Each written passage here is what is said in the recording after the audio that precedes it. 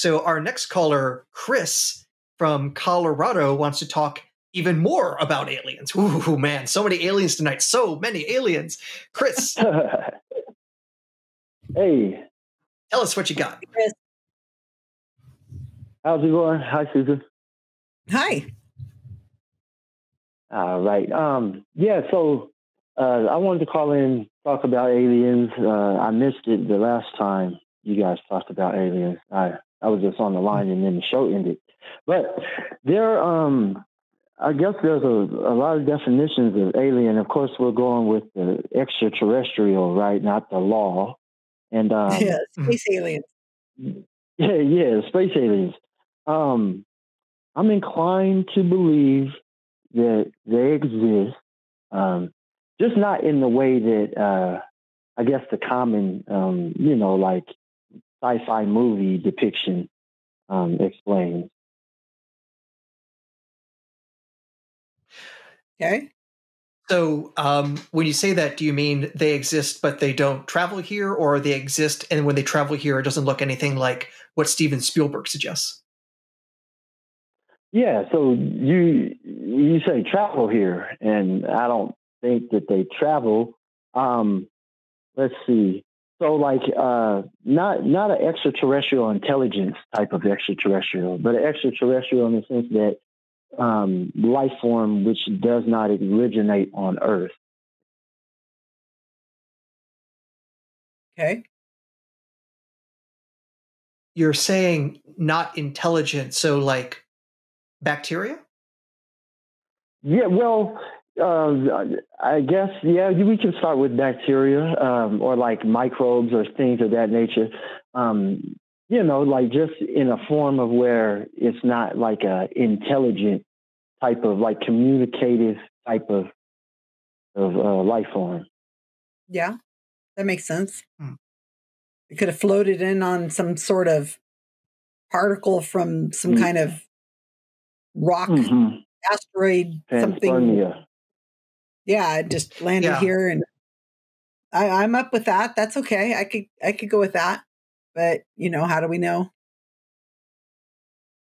How do we know once the asteroid hits Earth and they find it somehow that it wasn't created on Earth and it's not from Earth origin? Because all material, I believe, in the universe is all I mean, there's no nothing new. I mean, how do I say this?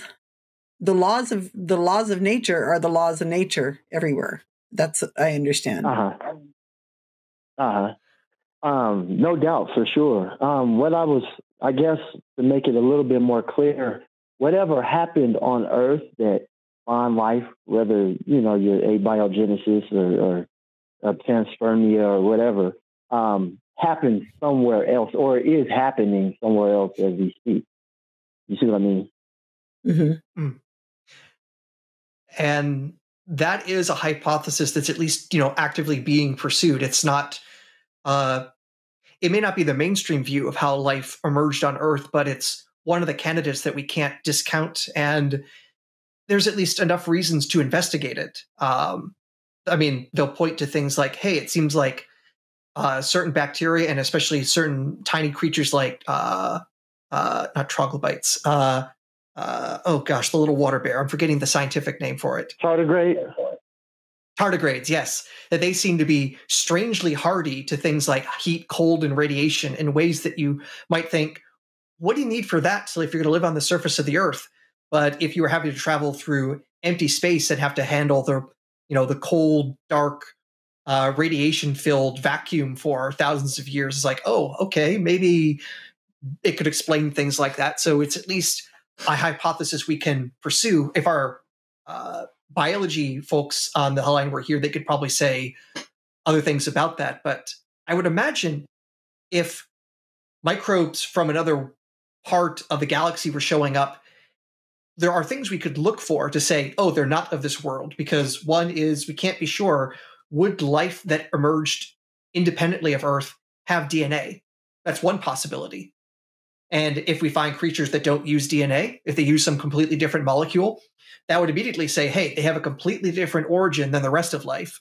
Uh, but maybe it's the case that even DNA is nearly universal for biology. Maybe it's just far and away the best molecule for doing that stuff. But even so, uh, it's going to have a completely different evolutionary history. So you might look and say, hey, uh, its arrangement doesn't fit into any of the other uh, trees of life that we have for the rest of our life forms. We can't say, oh, it's got like you know this much in common with these other bacteria or these other uh, eukaryotes. It's like, hey, its structure is completely different. It still has the ability to um, process oxygen, but doesn't have a mitochondria. There, there are things I could imagine a good biologist could look for and say, uh, that's weird. But uh, as of right now, no one has successfully found examples of that, to the best of my knowledge. Right, and, how? Um, I guess since we're on the topic of belief, how do you believe that life originated on the planet? What what what does the facts uh, point to uh, more on this planet? Again, this is outside of my expertise, so I'm just going to say the very weird things that I can try to pretend I know about. My understanding is this: is that the leading hypotheses are that um, the early Earth could allow for chemistry that can become more and more complex over time. There are studies that even suggest that certain types of molecules can even have uh, a selection factor, so like an early form of natural selection, even existing at the molecular level before you get to the first reproducing cell. Um, one of the major hypotheses out there as well is what's called the RNA world hypothesis, where RNA, like as a, it's very similar to DNA in that it can encode genetic information, but unlike DNA, it can also like process and like make proteins and things like that. So it can actually do more functions than DNA. And one of the things it seems like is that uh, it can actually form spontaneously in environments that we think would have been representative of the early Earth. So uh, my understanding is that there's evidence to believe that those sorts of things could arise naturally and through uh, a lot of chemistry and selective pressures, it can actually lead to the first kinds of life. But it's still an open question of what are all the steps? How much do we know things? What's still hypothesis versus what we have a good handle on? And I do not have the expertise to speak to that. Right. And that inclines me to believe, that's why I'm more inclined to believe that there is extraterrestrial life out there because we know that there's early Earth out there, even right now. So, I mean, if it can happen here, and, and I know that's a fallacy. Don't worry, I've been through them all. but if it can happen here, why not mm-hmm. elsewhere in the universe? You're 100% right. Mm-hmm. It's why I don't discount it. I'm just waiting to find the direct evidence to say, oh, yep, we found it. Uh, I, I, I would love to find that out. That would be so amazing, and I'm so totally open for it. Um, I would say though that we might have better luck uh, finding that evidence of the possibility of life in other worlds if we do a bit of exploring rather than here on Earth. If we go digging out into the solar system, so especially I'm thinking places like uh, the icy moon of Europa, because we know that moon of Jupiter has a gigantic ocean underneath its ice, and it has more water than all the surface water on the earth. Is there something swimming in there? It's an active, it's a possibility. And if we go down there and we find life actually emerged there, then the probability that life exists elsewhere in the universe just skyrockets. Yeah. Sounds pretty good. Yeah, we just got to fund a lot more to NASA uh, to make that even begin to be a possibility. A so, penny uh, for NASA, call your senator.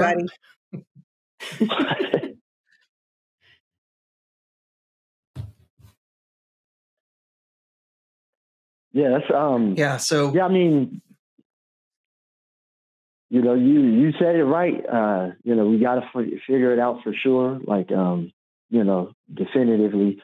But I'm just, I don't know. I I'm I'm atheist, so I'm more along the lines of the abiogenesis. But I, it always hit me as to, well, if it can happen here, why not anywhere else? So. I would say that yeah, um, totally plausible. It's just a matter of how many worlds like Earth exist out there that can have the test tubes to uh, mix all the chemicals up to do that. And that's one of the things that we are currently exploring and probing because uh, we now have the technology to actually find Earth like worlds. And we have found lots of possible candidates for that kind of thing, where there are worlds that are like around the same size as the Earth in what's called the habitable zone of other stars. And we actually now have statistical data to back up and say, yeah, there are worlds out there like that.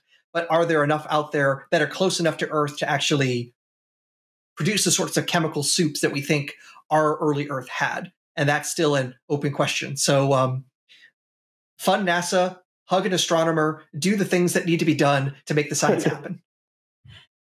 Yeah, that, and oh shoot, here's a good one. This this leads me to to okay, well, um, you know, if you just fast forward a couple million years or or a billion years or whatnot, put them on the other side of the universe, maybe they could be intelligent, just never able to communicate with us. But that's another thing, you know, that's imaginary stuff. But you know, well, honestly, it's uh if aliens exist in the Milky Way galaxy, they're more likely to be uh, far away than close because galaxy is huge. The probability of them being um, close, in the sense of close that we could actually have a two way conversation in a human lifetime, is absurdly small. hmm Yeah. Well, that was um, that's about it. I appreciate you for engaging me there. I really wanted to hear what Susan had to think about what I was saying there. That not the big, you know, gray aliens with the almond eyes or whatever, but the microbes. You know what I mean? Sure, I don't have a problem. I, I, if somebody told me that they were here, I wouldn't be shocked. Nice.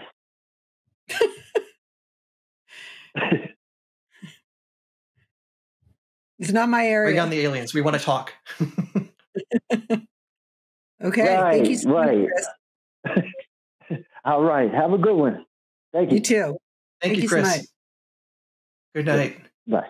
Hey there, everyone. We want you to check out our live shows six days a week, six shows a week, five days a week, six shows. And also, there are other channels coming. And this part is meaningless, but you could support this channel by watching the live shows, by checking out another episode. Tell the algorithm you want to stay here. You're not going to go off to some video of some super rich guy committing war crimes. You're going to stick around here and maybe you'll leave a comment. Or what else could they do, Eve? They could head Oh, over looking to patreon.com slash call the line. Right? Am I looking? That's that's another thing, and they the can right like Yeah. and they could subscribe. No, you got it right. I got it wrong the first time. And they could also comment. Yeah.